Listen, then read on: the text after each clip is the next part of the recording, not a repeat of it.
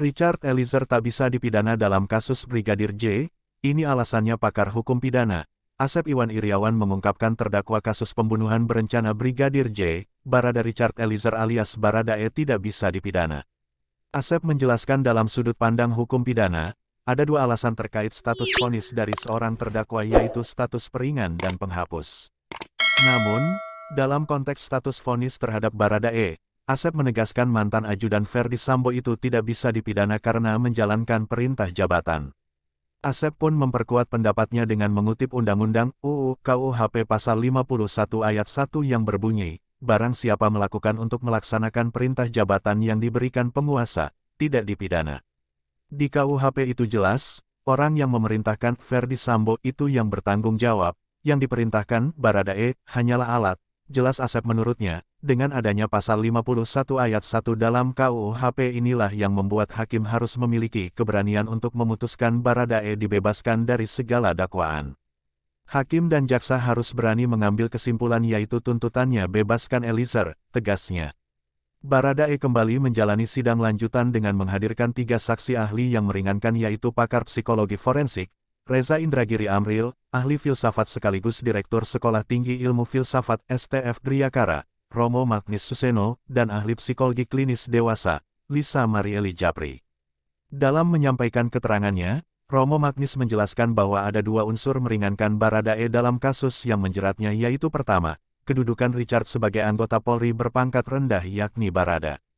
Menurutnya, relasi kuasa berupa perbedaan pangkat yang begitu jauh antara Baradae dan Ferdi Sambo membuat adanya keterpaksaan untuk melaksanakan perintah ex-Kadif Propam Polri tersebut.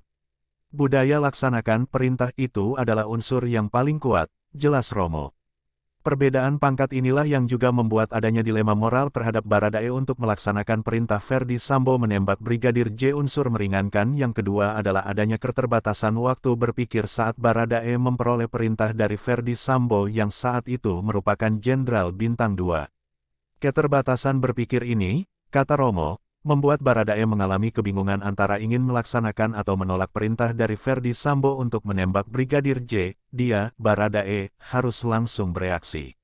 Itu dua faktor yang secara etis yang meringankan, katanya. Kebebasan hati untuk mempertimbangkan dalam waktu berapa detik mungkin tidak ada, lanjut guru besar ilmu filsafat tersebut. Sementara menurut Reza, Baradae bisa bebas separuh dari hukuman yang dijatuhkan karena adanya tekanan dalam melakukan penembakan. Menurutnya, Baradae saat melakukan penembakan berada dalam kondisi memahami apa yang diperbuatnya kognitif kompetens. Namun, Reza juga menganggap Baradae berada dalam momen berada dalam tekanan berulang kali dari Ferdi Sambo untuk menembak tetapi enggan untuk melakukannya atau policial competence.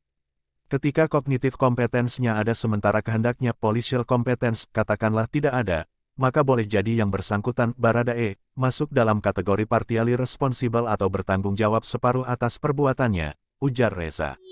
Pada kesempatan yang sama, Lisa menyebut Baradae memiliki level kepatuhan yang tinggi terhadap Ferdi Sambo.